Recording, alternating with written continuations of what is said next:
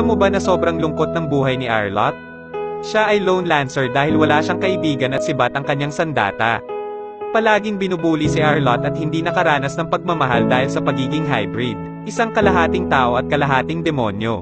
Nung dumating si Alice sa Barren Lands upang humanap ng miyembro para sa puwersa ng demonyo ay nagpalista si Arlot. Kinuha siya ni Alice at di nagtagal dahil sa kanyang katapangan ay hinirang siya bilang kapitan. Ngunit kahit nasa panig na siya ng mga demonyo ay trinidor pa rin siya dahil siya ay isang kalahating tao. Umalis si Arlot nang may malubhang sugat hanggang sa napunta siya sa isang bayan at nawala ng malay. Tinulungan at inalagaan siya ng isang babae na may pangalang Mila. Unti-unting binago ng pagiging inosente at sinseridad ni Mila ang pananaw ni Arlot sa mga tao. Lumipas ang panahon maraming natutunan si Arlot galing kay Mila. Masaya silang nagsama hanggang sa binigyan ni Mila si Arlot ng isang kwintas na magpapanatili ng kaligtasan at pagdeklara na mabuting tao si Arlot. Dahil sa pangakong nabuo nila sa isa't isa at natutulungan nila ang mga tao sa abot ng kanilang makakaya ay doon nagkaroon ng ilaw o liwanag ang isang sibat ni Arlot.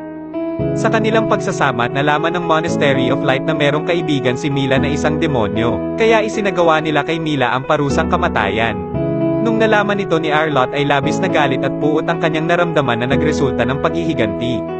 Inubos ni Arlot ang lahat ng mga kawal ng Monastery of Light at dinala si Mila sa altar at isinauli ang kwintas. Tumubo sa paligid ni Mila ang mga halaman habang naiilawan ng mga bituin. Ang buhay ni Arlot ay naging makulay nang nakilala niya si Mila ngunit binawi rin ito sa kanya na tila bang wala siyang karapatan na maging masaya. Kalaunan, naglakbay uli si Arlot at napunta ulit siya sa lugar na kung saan may tatlong daan. Noon ay dalawa lang ang kanyang pagpipilian. Ang isa ay daan patungo sa mga tao, habang ang isa ay patungo sa mga demonyo. Ngayon ay tatlo na, at sa panahong ito ay kasama na niya si Mila. Hindi man niya pisikal na mahahawakan pero ito ay nasa kanyang alaala. Isang alaala kung kailan naging pinakamasaya si Arlot habang nagdiriwang ng kanyang kaarawan na kasama si Mila habang pinagmamasdan ang mga bituin na ngayon ay hindi na mauulit.